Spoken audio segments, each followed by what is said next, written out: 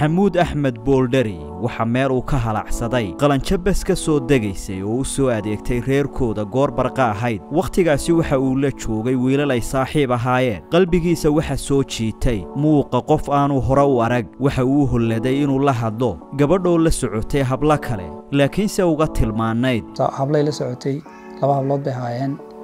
Markaa runtii horta markii ugu horreysayba aniga horta ma odhan karo waa ku jeclaaday laakiin dareenkii ugu horreeyay meeshuu ka bilaabmay ayaa waxayd aragtideedii koowaad iyadoo yani nin kale ay wada socdeen aan magaranaysa markiiba iyadoo ay soo jiidatay indhaha waxaan isku baranay maal maalmaha ka mid anigoo meel dariiqan joogna anagii dhowr dhalinyaraa saddex aanu ka koobnayn ayaan soo martay iyadoo xilligan ay dumarku had iyo jeer adeega soo doonaan hablow dee hablaha yarari iyadoo saribadda ka soo noqotay markaas dabeedna iyadoo saribadda ka soo noqotay halkaa ku aragnay. Markaa dhalinyaradii kaftan iyo hadalii isku tuurtuur ayaan anuu kula hadlay. Sidii baan horta halkaasoo barashadeedii koowaad ka bilaabmatay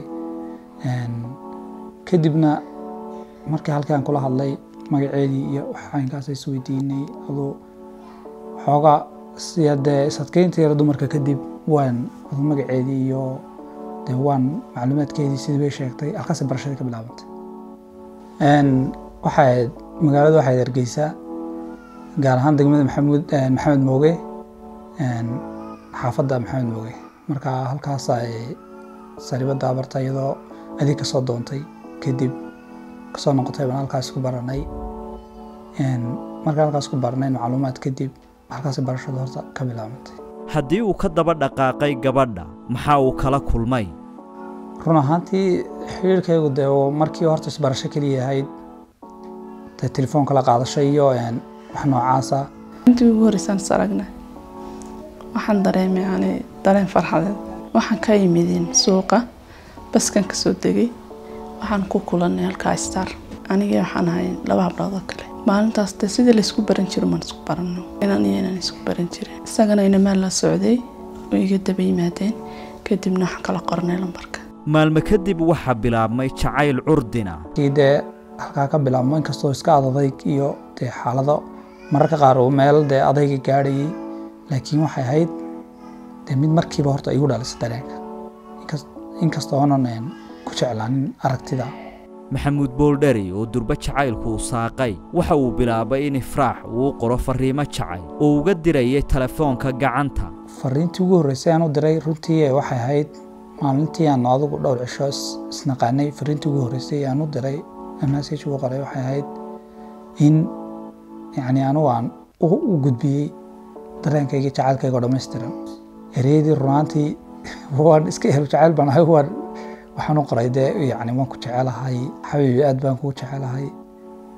Mar kasta waxaan jecelahay inaan ku arko run ahaantii wada cajabisay. Iyo qaar kaloo dee aada u badan oo adugu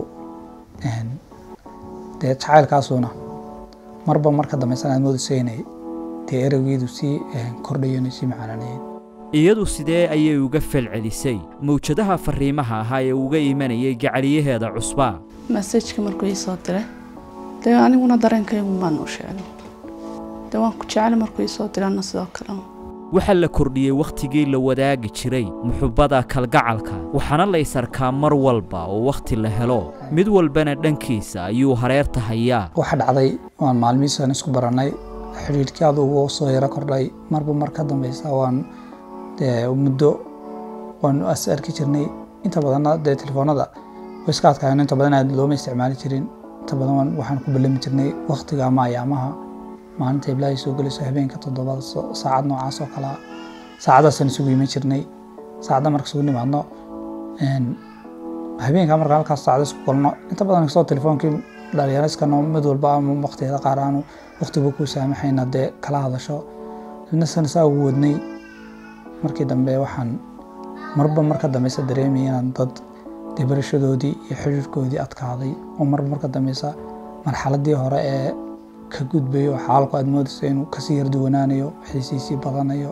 Yani marba marka dambeysa ay wax sii bedelayaan.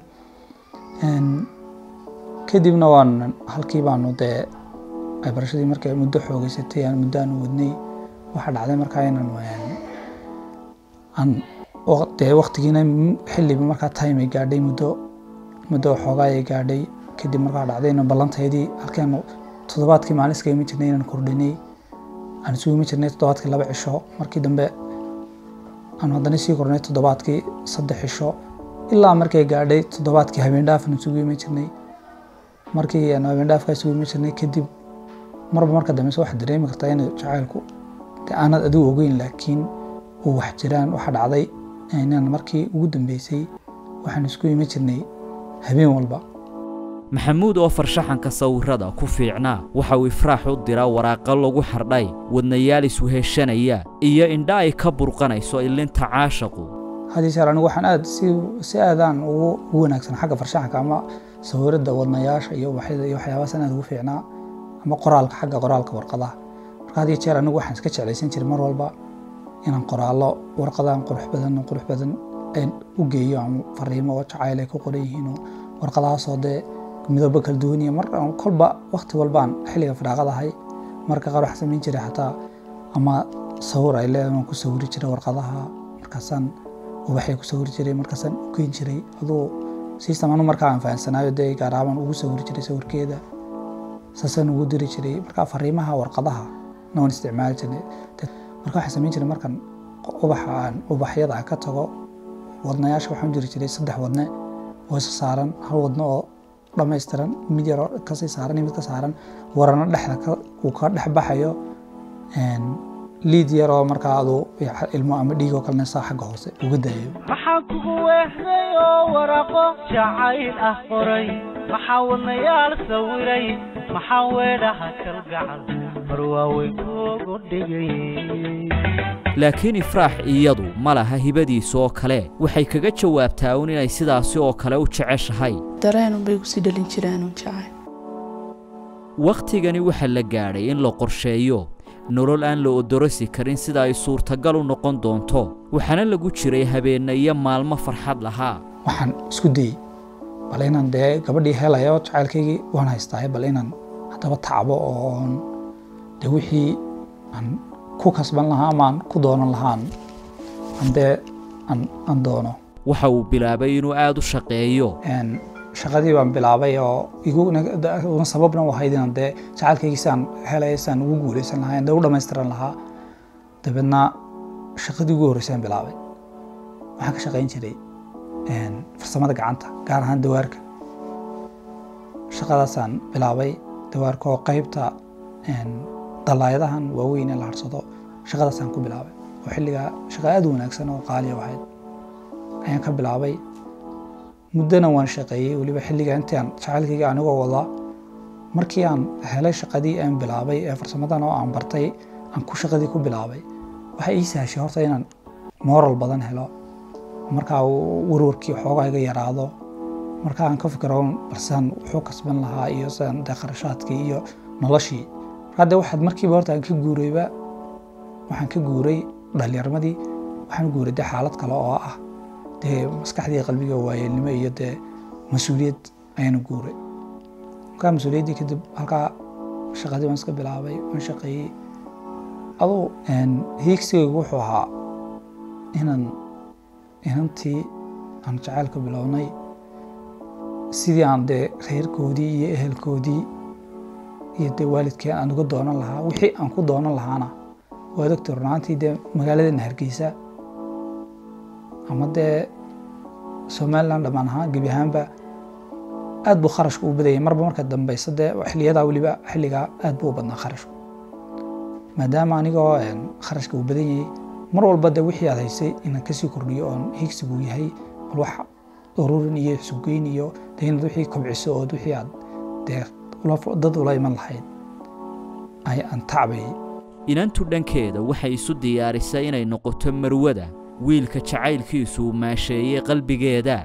Maxamuud jawiga caashaqee uu galay waxa uu la wadaagay saaxiibbadii laakiin waa ay la yaabi jireen sida uu sheegayo maxamuud cabdi qiyaas. Dadka waxay u qaybsanaayeen de wax la yaaba ninkaasi marka uu garanaysa ka sheekaynayo arrimaha inantaas iyo wax dee ma garanaysaa arrinkiisa soo dhoweeya anagu maadaamaanu saaxiib aad dhow aada u dhow ahayn wakhtiga oo dhan intaanu ka wada sheekaysanayno dadku waxyaabo kale isagu wuxuu iga sheekayn jirayuun halkay kolba xaalkoodu marayo waad garan kartaa dee dhallinyaradu asxaabo sheekadii mar walba jacaylun inaad mararka qaarkood yara karahaysanayso ninkan meel horta kaaga sheekaynahayn marka dee may ahayn aqoon xagga jacaylka laakiin waxay ahayd annagoo labadayadu isku xaalad dareemahayn inantaasi way sooyaal bay soo wada qaateen riyadii la hiigsanayay ee loo qalab qaatay ayaa markani lagu hungoobay.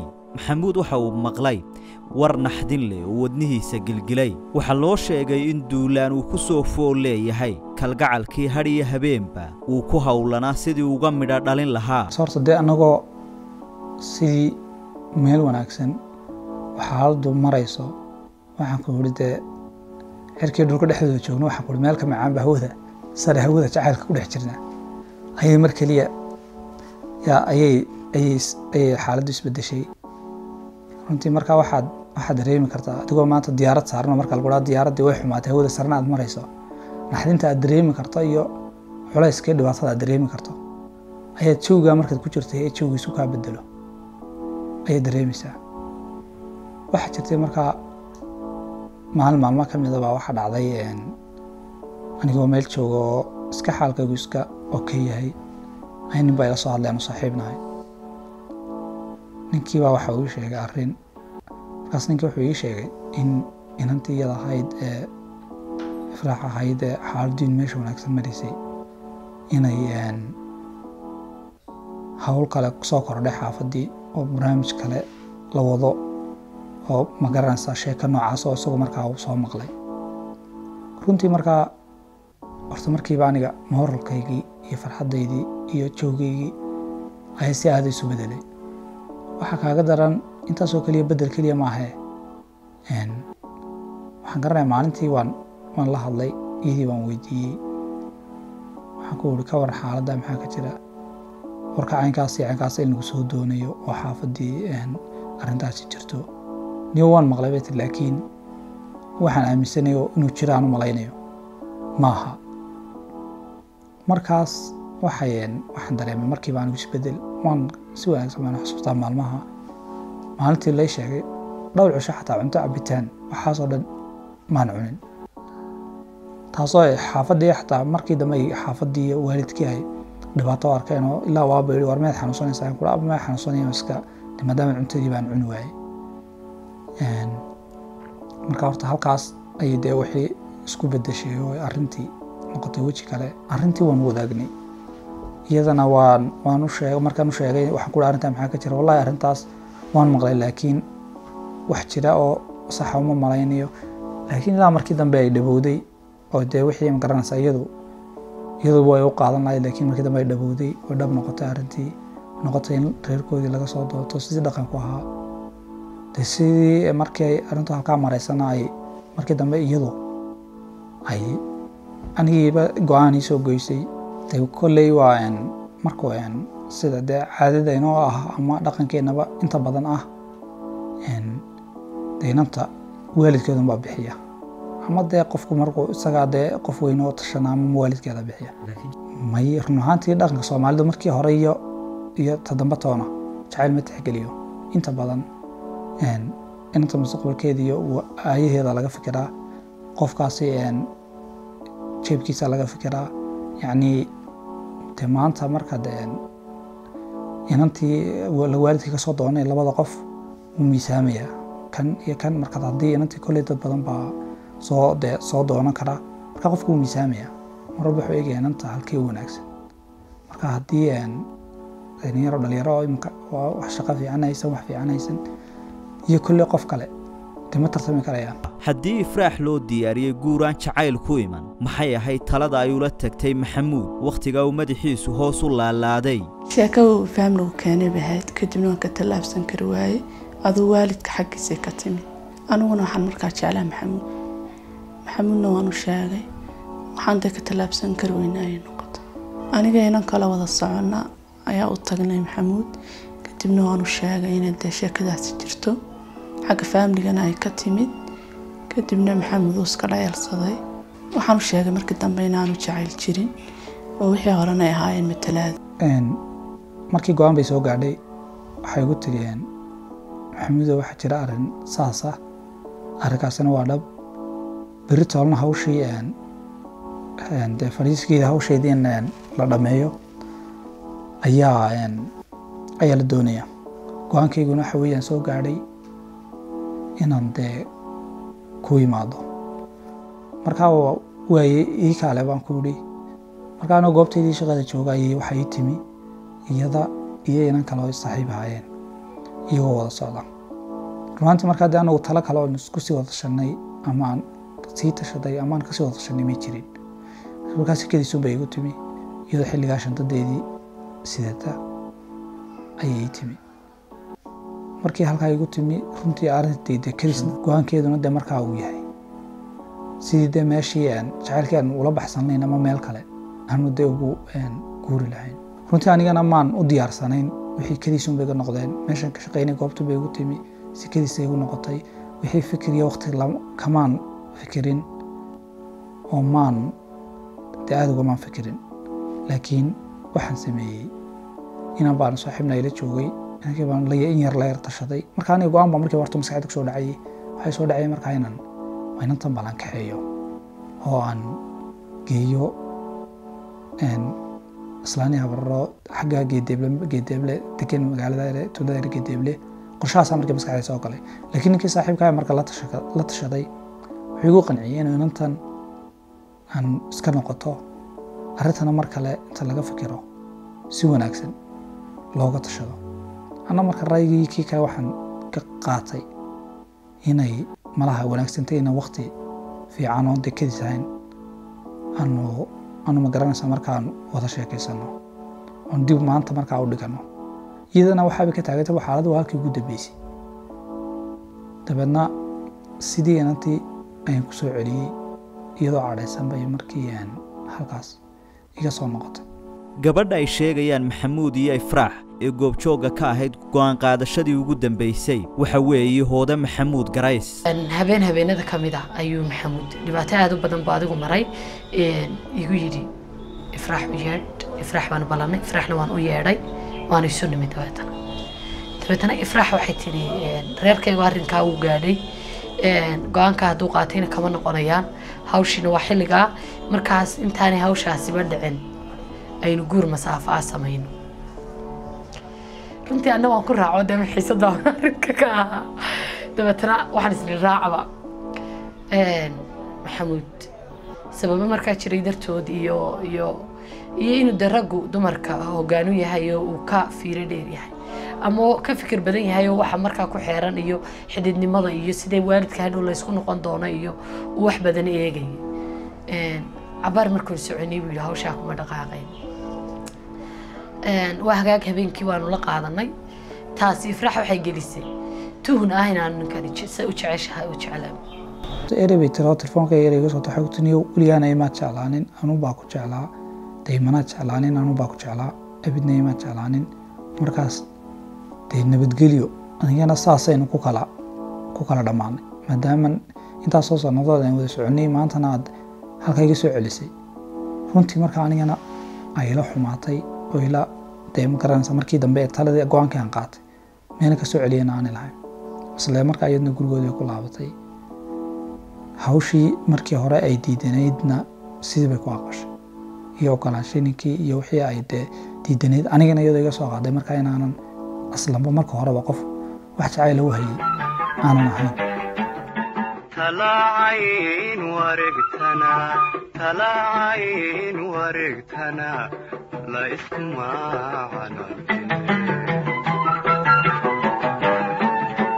talaacayn wareegtana talaacayn wareegtana la isku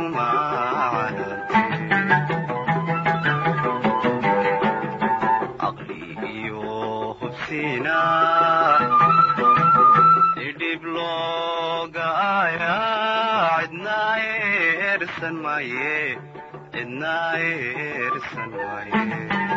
markani ifraax waa la guursaday waxaanay noqotay afada nin calafku u dabray waxaa dhacday adoo inuu dhacayn meherka inuu dhacay kadibna aniguna anigoo rajo dhigay inaan dee iska ogolaaday marka dambe oo meherka saa ku dhacay. Jaallaheedii maxamuud waxaa jiif iyo joogba u diiday cishqigii lagaga hayaamay waxaa laga jawaabi waayey telefoonno iyo farriimo uu diray. Intaa kadib waxa dhacay inay telefoonka iga qaban weydo inaan meel walbaan ka garaaco iga qaban weydo inay igu dhigto inay mararka qaar qof kale igu dhiibto in ay ma garanaysaa masajyada aan u diro aanay iga jawaabin. Deina xaaladdii marka ay noqotay xaaladdii marnaba aan caadi ahayn oo isbeddel oo dee aan caadi ahayn u dhacay habeenkii maalintii markaan sa ahaa kadib waxaan markaa warkii igu soo gaadhay in inantii iyada ahayd hawsheedii markaa ninkii la siiyey oo sheekadii ay dhammaatay maxamuud wuu ila soo hadli jiray laakiin telefoonka kaman qaban jirin anigoo cadhaysanaa wadee waxay aamintay in been uu la jilayey iyadoo tala ay ku caddaatay laakiin uu doonayo in maruun ay rumaysato jacaylkii uu calafku ka adeegay ayaa waxa warqad uu ku qoray dhiig uu ka shubay gacantiisa. Maan garaacayn inaan dee ama la haasabo ama la sheekaysto. Balse keliya waxaan u garaacayay in ereyga keliyaan doonaya ahayd inaan ku qanciyo inaan jecelayn bes oo ereygii ay beensatay ay rumaysan weyday dee qadarkii ama dee sida go'aankii aan qaatay iyaduna u fahantay qalatay inuu dee aanan ma garanaysaa jeclayn. Inaan kaasoo inaan jecelay oo keliya inaan u rumeeyo oo keliya intaasaan doonayaan. Markii dambe waxaa dhacday inaan sidii dee aan muddo waxay socotoba markii dambe aan aada u fikiraan sidii talow. Maxaad inantan bal horta ku soo jeedisaa marka waxaa dhacday maalin maalmaha ka mid a baan inaan saaxiibna baan u tegey dabeedna ninka saaxiibkeen baan kulniyo anigoo dhiig baan erbad baa soo jeediyey tiriisheer deedna anoo dhiig iska qaadis ayaan ayaan ayuunbooy arkay deedna si wuri war aan kaa qaado dhiiga dabeedna markaasaan ku wuri waayahee iga qaad dhiiggii iga qaaday marka laakiin ujeedadeedu dhiigeen isagu markaa haa xididka jirka erbad caadi uu saa uga qaaday tiriishkii markuu soo buuxiyey waxaan markaa anigu waa doonayay isagu xilligaa warqa mu fahansanayn laakiin markii dambe wila fahmay waxaan doonaya inaan markaa aan warqadu ku qoro markaa kadib waxaan sameeyey warqaddii baan soo qaatay. Inankii waan ka imi dhiiggii baan ku qoray warqaddii marka haddii jeer markaa qoraalkii warqaddii aad saa ugu qorto dhiiggii inta badan qoraaladii inkastoon saa u kale hoos hoosaysiiye haddana isku soo hordhowaadeen marka akhrintii waxma inta badanee hore mooyaane akhrintii waxaasaa isku yar dardarsamay u yar yaraaday. Dabeedna anigana ujeedadii hadafkayga waxay ahayd bal inaan mar keliya soo jeediyo ama aan u caddeeyo in aan inantan jecelahay wixii aan weliga uga sheekeynayn aanay been ahayn. Laakiin xilligaa wax rajaa ama waxaan ka damco aan ka lahaa haba yaraatay aanay jirin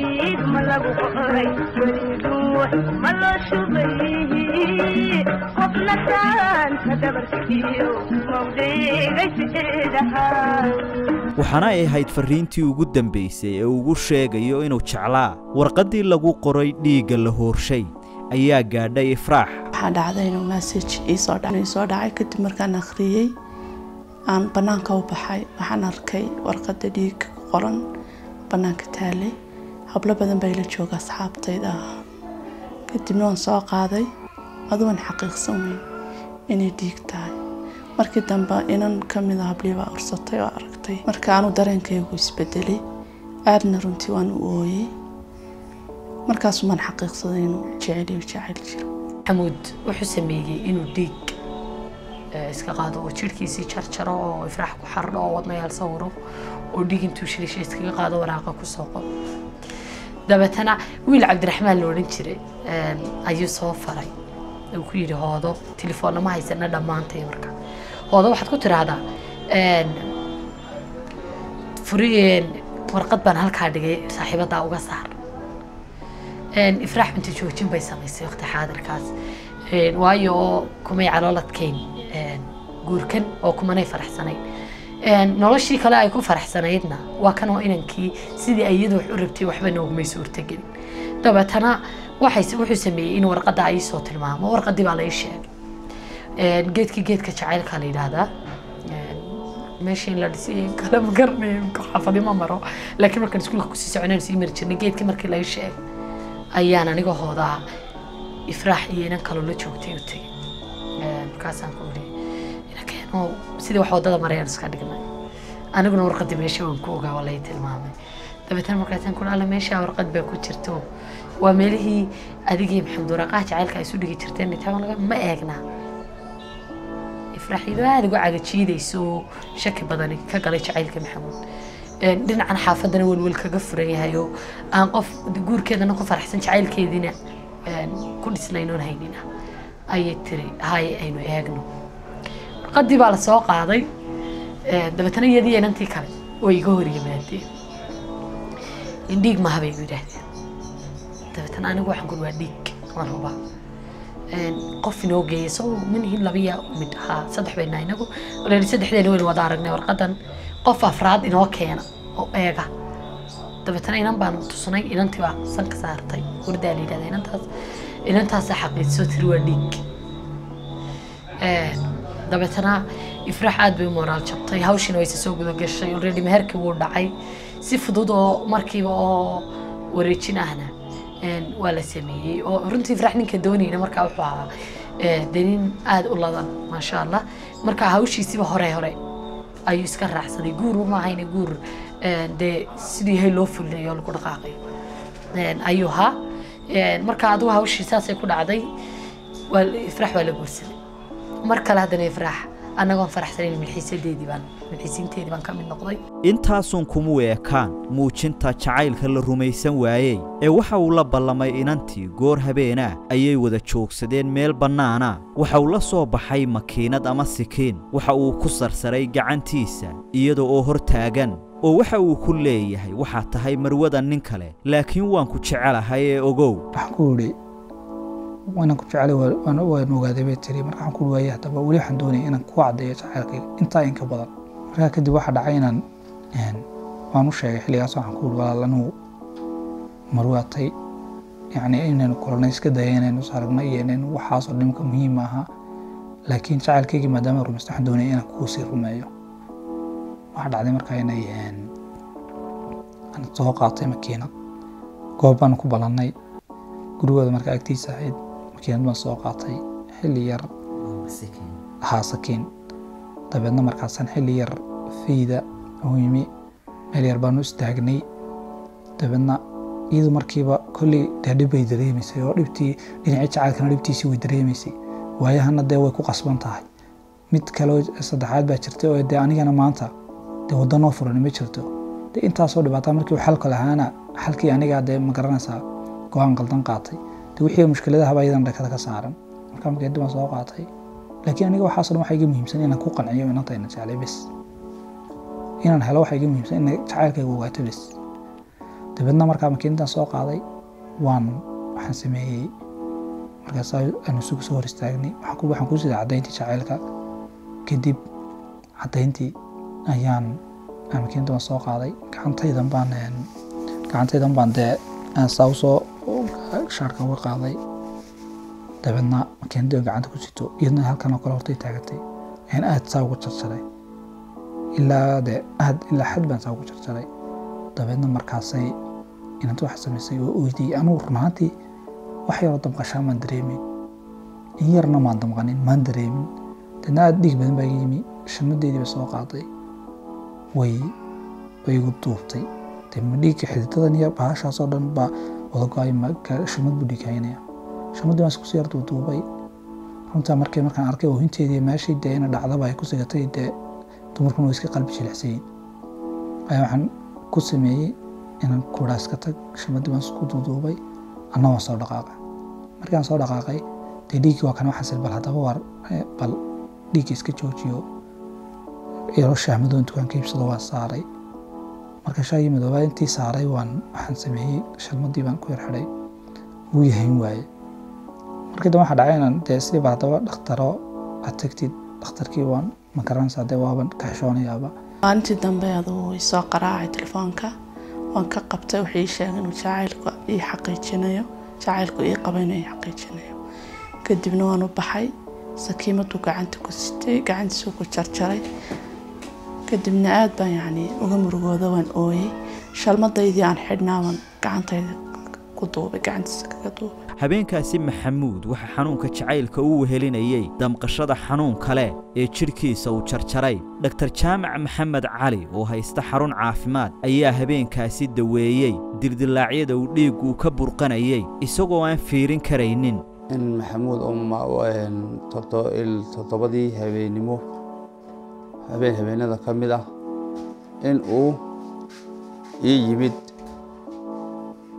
anigoo ah dhakhtarkii goobtan aynu hadda joogno ee aynu warfidiyeenkuna aynala joogo anagoo joogna ninkaas oo dhaawaca. Dhaawacii markii aan ku idhi dhaawacani siduu kuu gaadhay. Wuxuu markii hore iigu yidhi tuug baa i dishay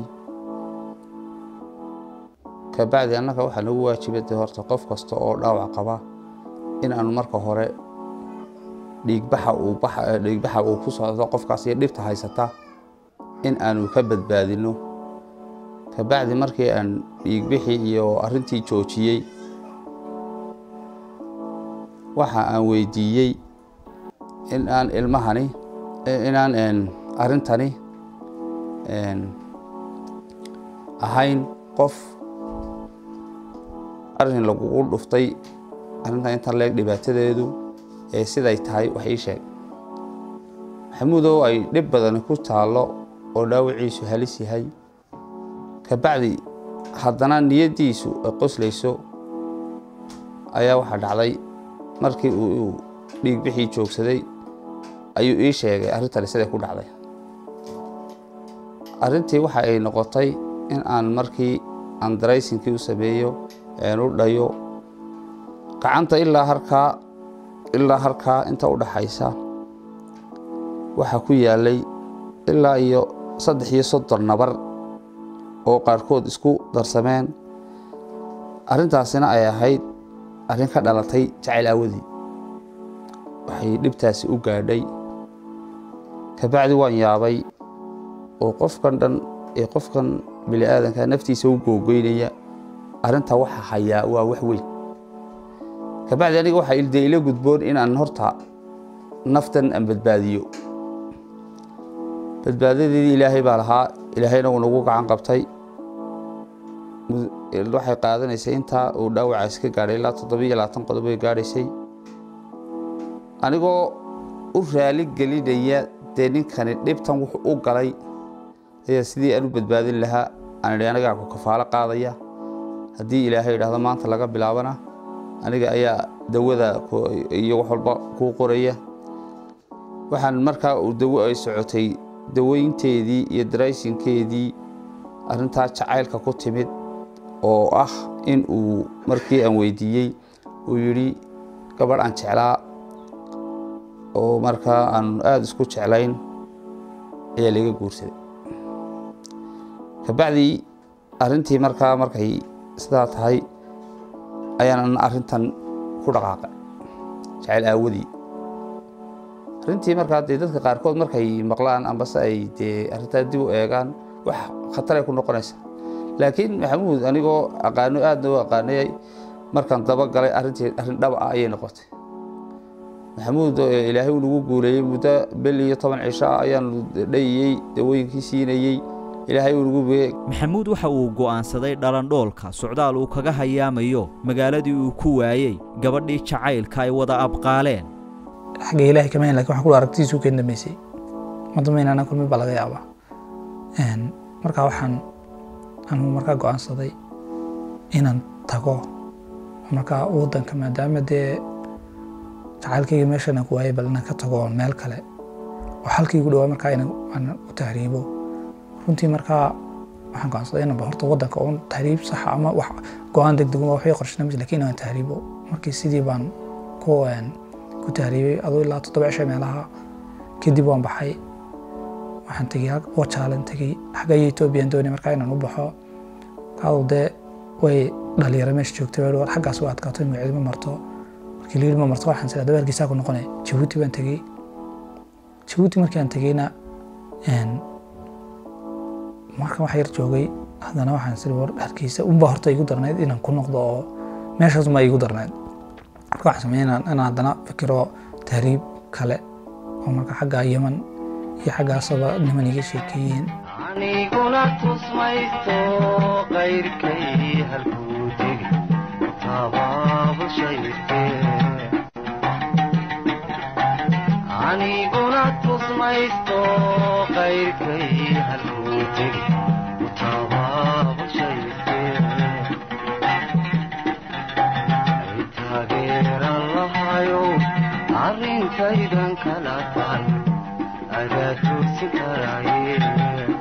waxaana ugu dambayn uu gaadhay dalka sacuudi areebiya wallaahi dee nolol horta adag baa sacuudiga iga bilaabantay markii ugu horreysaan xuduudka saa u soo galay. Runtii waxyaabihii la yaabka lahaa ee jiray waxaa ahayd in een, waqtiyada qaar ma een, numbarkeedii iyo waxeedii iyo informationkeedii iyo waxeedii oo dhanba waan ka tegey. Laakiin waxaa dhacday waxaan la soo hadli jiray dad kaloo asxaabteeda kuwaasaan ka wareysan jiray. Xaalkeeda ma fiican tahay ma wanaagsan tahay kuwa qoladaas in aad ula soo hadli jiray. Marmar baa jirtay markaan xilli aan odhan jiray ama telefoon iigu yergeeya markaan saa xaaladdeeda aan u yaabo marmar ay dhici jirtay inaan salaan layga gaadhsiiyo laakiin aduu dee waxan baa halkaas un dee waxan baa aduu laakiin inaan is ilowsiiyo xaaladii oon aad isku ilowsiiyo midda kale aad waxaan waxaan u jiray markii dambe waxaan marka arkay xaaladeedu adag aad u adagtay. Qur'aankan aad aad aad u akhriyi jiray. Qur'aankan aad u qeybi jiray. Dabadna markii dambe mashquul badan baan isgeyn jiray. Oo halkaasaan wax badan aan isku iskaga daweeyey jacaylkii waxoogaa silmalaha dee muddo kaga yara waxoogaa kolbaa nasiima dareemi jiro anigoo dee aad isaga mashquulin waxa ugu badan aan aadka iska ilaalin jiray amama ugu dhibaatada badnaan waxay ahayd heesaha. Markan haddaan hees maqlo runtii maan adkeysan kari jirin.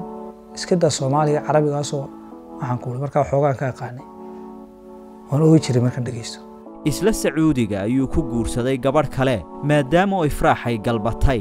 Markaa waxaan sameeyey inaan aan markaa inaan guursado aan xaas kalan guursaday anigoo markaa dee islebel saad u iloodo aan markaa ka tanaasulay dee maadaama iyadna ay dee reer noqotay ana markaa reer baan noqday gabadh baan guursaday. Halkii nolol kale ka bilaabay. Ragii dambe ciyaal baa i dhexday halkii baan noloshaa kale aan ka bilaabay. Hawshii baan halkaa ka galay. Waxoogaa ifraax iyadoo uu qaba nin kale haddana kama guureen. Kalgacalka ay u qabtay maxamuud mana jirin meel ay kala xidhiidho. Hase ahaatee waxay ku nooleyduun xusuus waxa la sameeyey heeso iyo suugaan lagu cabbiray cishqiga la maaxdumiyey. Mustafe axmed doolar waxa uu sameeyey hees midhaheeda iyo laxankeedaba uu leeyahay. Kadibna uu isagu u qaaday waxaana uu curiyey markii qisada ay ka wada sheekaysteen nin ay saaxiib ahaayeen maxamuud oo markaasi hargeyso ku sugnaa. Habeenkaas markii qisadaas laga shekeeyey ay dhammaatay. Runtii waxaan qabtay dhinacii xaafaddeeda ama gurigeyga Anigoo shucuurteedu bedelan tahay oo jawgiga jawiyada kale ka bedelan yahay. Markii aan gurigii tegey waxaan damcay inaan qisada bal wax ka qoro. Anoo markaas jeclaa inaan wax qorqoro oo hada jaraale inaan hal abuurnimo wax sameeyo. Markaas waxaan damcay inaan wax ka qoro qisadaas. Markii aan qisadaas ku damcay in wax ka qoro habeenkaas midhaan sameeyey. Midhahaan sameeyey dareenkan ku sameynaya run ahaantii maxamedow wuxuu ahaa dareen aniga igu cusub. Waxaan dareemayey inaan si dhaqsaa wax u sameynayo iyadoo ay igu adag tahay marka kale inaan si caadi wax u sameeyo. Waxaan kaloo dareemayey inaan sideedii hore si aan ahayn aan hawsha u dhammayn karo. Habeenkaas hees baan qoray. Heestaas markaan qoray habeenkii een, fanku waa heestii ugu horreysay aan qaaday. Ay noqoto horta heestaasi.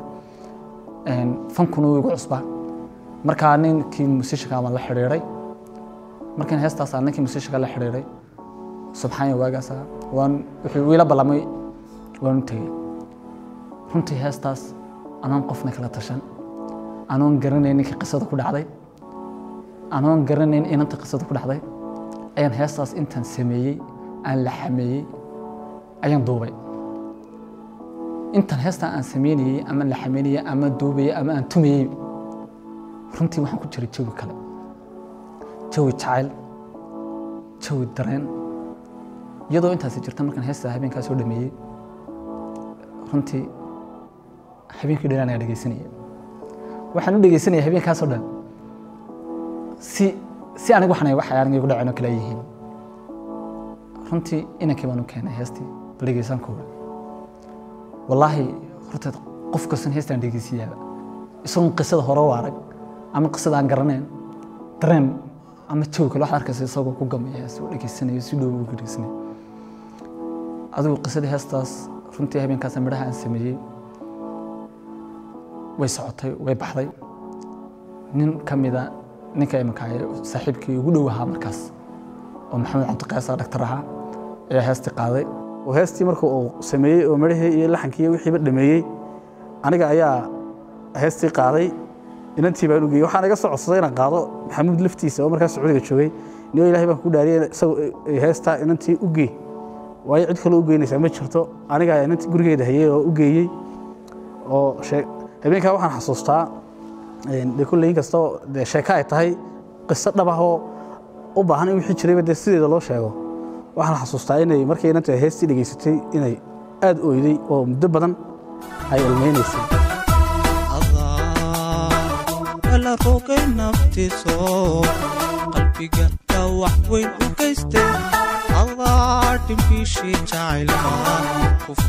dhammaan waxiisa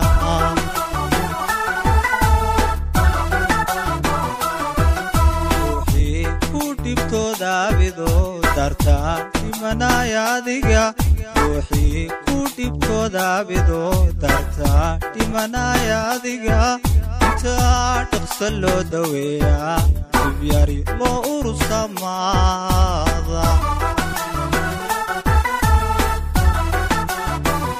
ruuxii ku dhibtooda abido darta dhimanaya adiga ruuxii ku dhibtooda abido darta dhimanaya adiga intaa dhaqso loo daweeyaa dibyari loo urursamaada maxamuud oo isna sacuudiga jooga ayaa heestaasi loo geeyey. Heestii maalintii aan dhegaystay runtii dee waxay igu noqotay qiiro badan. Dhowr saacadood baan ooyey. Bahalka yare maxaa la yidhahdaa kliniskaasa yaale bogosa bogoskii ilmadiistan iskaga beynayay ayaan ku dhameeyey toddoba sano kadib waxa uu helay war rajada soo nooleeyey oo sheegayey in ifraax la dalaaqay oo ay kala tegeen. Ninkii qabay isaguna wakhtigaasi waxa uu ahaa keli joog ay kala socdeen. Haweenaydii sacuudiga uu ku guursaday. Markaasuu ii keenay war fiican oo kale oo ah inay gabadhii maanta madax bannaantay ninkii ay kala tegeen. Hargeysa ay joogto arrinkeedu dee uu saa yahay. Markaa nambarkeedii barnaamijkeedii bartii baan dib iskaga soo xidhan markii horena dee jacaylku muu dhammaan laakiin anu mar walba waxaan isku dayey inaan hawshiisa iyo baddeeda iyo wixii aan ka fogaado. Dam sanadii hore aan xiriir iyo raadraadin sanadii dambe waa iska gooyey oo man man man xidhin jirin laakiin qalbigayga iyo maskaxdeeda waxaa jiray dee sawiradeeda aan haysto ama caynkaasa ayaa jiray. Waxaa mid kale oo iyadna wax jirtay halkan markii aan ka tegayay wax jirtay garan aan ku sii sawirtay sawirkeeda sawirkeeda halkan igu sawirnaa dabeedna garankaas waan xidhan jiray. Mar intii aan halkan joogo dhan waan- xidhan jiray. Xataa habeenkii ugu seexan jiray. Markii dambe aan taariibayna waxaan se iyaanu kaa lumine meel baan ku sii xafiday laakiin sawiro iyo barnaamijyo kale aan iskaga iskaga noolaan jiray. Wallaahi markaa kadib dee jacaylkii horta waa nin dib u soo galayba oo intii halkaa maalintii aan ka bilaabay baa dib weynaga badii haddana badii casho ku soo noqday. Markaas waan soo xidhnay nambarkeeda waa naga helay waan soo xidhnay. Dee qadarada ilaahayna way iska badanyine markaa waxaa dhacday inaan inantii dib aan soo xidhiidhino kii waan kala tagnay qadarkii baana dhacay. Maxamuud lamaan garanay meelan kala xidhiidho. Waxaa abuurmay ididiilo cusub waxaana la go'aansaday in markan guntiga loo geejisto sidii laysu calfan lahaa. Markaas waan soo xidhnay nambarkeeda waa naga helay waan soo xidhnay. Dee qadarada ilaahayna way iska badanyine markaa waxaa dhacday inaan inantii dib aan soo xidhiidhino markaa ninaanu saaxiib nahay oo isaguna markaa hargeysa joogay ayaan la soo hadlay ninkii baan ku inanta waxaan doonayaa. Isagoo markaa xagga sacuudiga u noqonaya weliba taariikh soo noqonaya inaan doonaya soo kaxayso. Inankii markaa wuxuu yiri waa okay waa soo kaxaynayaa dabeedna bal qadarka ilaahay may suurto gelin inay soo kaxeeyo. Marka xilligaa oo yar xanuunsanaysay anna markaa intaan een, aan kuuri yaroo lacag usoo diray baan kuuri soo bax inankiina wataa soo bixi weydii markaas haddana mushkilad kale ay halkaa iga bilaabantay ilaa aan quusba ka gaadhay aan war maad laatan ilaahayba kuumuu qorin marar badan oo waxaa jirta sa- ka istakfurasani mala dimi baa wad gashayba xilligaa dabeedna waxaa dhacday inaan aan aan dee waxoogaa maaragtay aan halkaas haddana hawl kale murugo kale aan dib u galay xilligaas dee waxaan ku aan markay waqtigiina soo bixi weyday inankeena uu keligii soo baxay aad annagu waan uga xumaaday marka waxaan sameeyey hees. Marka fanaankeena inankeena mustafa oo heestii horena isagu abwaankeedii ahaa jacaylkiis ku keeneen ahaa inuun inaan haddana hees anigu aan sameeyey. Aan anigu hees sameeyey marka anigoo dee cadhaysan baan sameeyey. Markaa heestii markaan sameeyey ayaanu inankii heestuna de markaa waxay un heeste iska foorjaa qalbiga igama hayn laakiin de cadho ayay iga keentay heestii markaa xilligaa waxay noqotay inaan aan kudha inankii mustafa markuu heestii qaaday ugee haddaba ninka mustafana uma geynayo maadaama anigu tii hore u geeyay wax isku soo celinaysay tan wax kala kaxaynaysa anigu ma geynayo anigana ninka waan kala tagnay kadibna rajadeydii baa soo noolaatay ifraax oo ogayd dhibaatada tahriibka ee uu mutay maxamuud. Waxay diidday inay isguursadaan iyagoo kala jooga sacuudiga iyo hargeysa waxaanay go'aansatay inay dhadhamiso dhibka markeeda. Kadibna wuu ila soo xidhiidhay wuxuu yidhi aan reerkiina ku weydiisto. Kadibna anigaa diiday waxaan doonaya markaa inaan dareemo dhibaataduu maray ee tahriibta ahay. Ifraax walaal reerkii wuu ka burburay ilaahay qadartiisa. Waxaanay kala tegeen eh, sawjkii markaa guursaday maalin maalmaha ka mid ah dabeetana aniga ifraax saaran. Ifraax waad mooday in jeel laga soo daayay waxay tiri waxaan ku go'aansaday si aan inaan kuu yimaado ama aad timaado. Dabeetana maxamed kaaley buu yidhi Een, gabadhiisii iyo noloshii halkaas iyaduna dee marka horeba dee waxay dad maqaalufo iyo wanaag isku qaba jacaylkooda waa hal qalbiyo marka adigu de jacaylkiiba labadoodiiba hafiyey oo jacayl gurigan rogayun baa kii kalena qayb ka ahaa baynu odhan karnaa. Dee inkastoo qadarka ilaahay meesha ku jiro oo dhismaha iyo burburka labaduba yihiin. Waxaa xaggiisa suurtagalka ah. Dabeetana inankii iyo inantii wuxuu u soo diray nin da- dadka dadka kaxeeya. Ah markaa wuxuu yidhi inankaasaa ku soo kaxayn jidkiisa loo mariyo waxaas isagaa kaasoo ah lacag buu u soo diray. Marka ifraax hawshaasi hakad baa yar galay oo mayna suurtagelin. Maxamuud ifraax tuhunkii berigii ay qaaday. Markay tiri aan israacna uu nakaxayn waayey. Oo kalaaba maxamuud galay. Marka wuxuu yidhi dee waay nolosha ma nolosheedunba dee saas uu loo waday? Oo inay nolosheeda aan burburiyo oo haddana jacayl kale iyo dam kale dhib kale aan galo. Deetana ifraax waxay qaadatay go'aanka ah inay maxamuud ka daba tagto. Ifraax waxaan ka mid ahaa dadkii aanba bixiyey sacuudiga ayay isugu tegeen waxaana salka loo dhigay jacaylkii la hadimeeyey oo markani guulaystay horta waa batan sacuudigii timi markay timi isla markay timi waxaa dhacday inaan dee faamiligii ka doonto aan la hadlo reerkii oon sidaa dabeedna laysku kaayo siiyo halkaa dabeedna ay dhibaatadii jacaylku ay ku dhammaato gadaadu tilmaantay weeye dhibtiisoo gabagabowda gadaadu tilmaantay weeye dhibtiisoo gabagabowda gugeenni waa kaa samaade aroos laynoo gangaamay